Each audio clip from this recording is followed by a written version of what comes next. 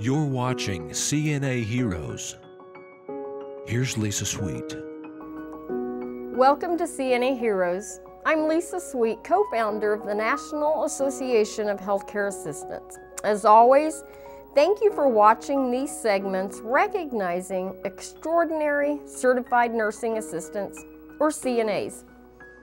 For everyone to understand the magnitude of the actions of this week's CNA hero, let me give you a bit of background information on CNAs.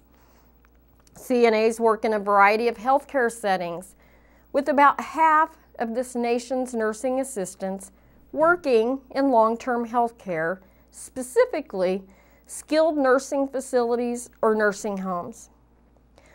Although they don't often get the respect, appreciation, and recognition that other healthcare professionals receive, they provide what is so often life-sustaining care and skills, including giving nutrition and hydration to those who are dependent upon them, spoon feeding them every bite of food, and giving them every sip of water they drink.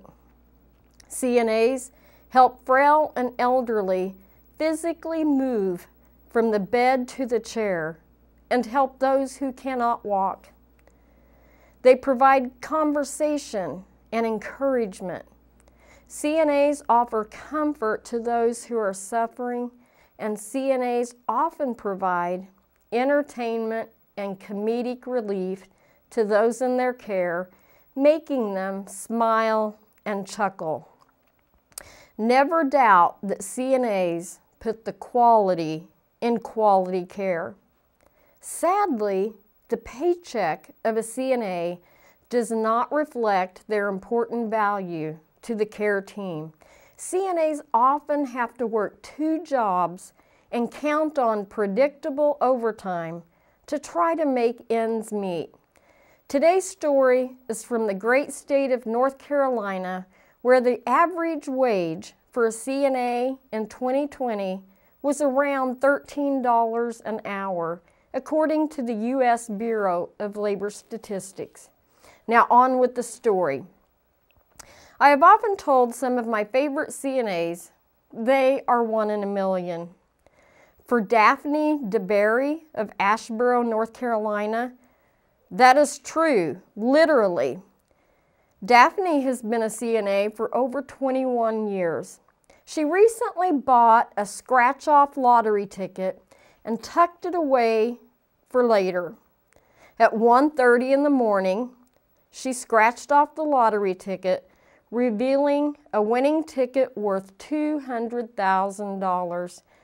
Now I gotta say, the odds of winning $200,000 in that game are 1 in 1.2 million.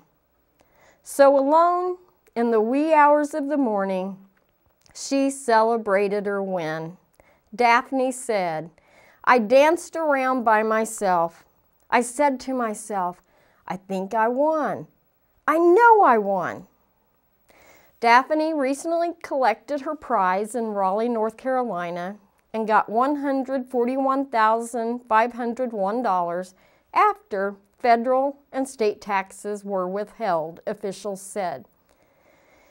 She intends to give some of the money to her church. Then she wants to, quote, bring some cheer to residents of a nursing home where she worked for 21 years before moving to home health care, end quote. This was reported by lottery officials. It is not the fact that Daphne won the money on a lottery ticket that makes her extraordinary. The fact that she is a CNA and worked 21 years at a nursing home and is still working home health is pretty incredible in and of itself.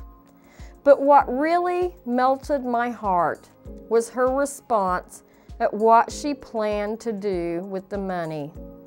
Give some money to her church and bring some cheer to the nursing home residents.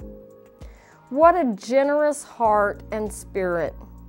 When so many would have responded to that same question of what they were going to do with the money with an answer of buy a house or a car or take a vacation, this dedicated and hardworking CNA was only thinking of others and not herself. If anyone deserves to spend money on themselves, it is a CNA like Daphne. Yet, she's only thinking of giving to others and bringing others joy. Daphne, your compassion, generosity, and desire to help others is inspiring. What an incredible person you are. That is why this week we are honoring you, Daphne DeBerry, as CNA Hero.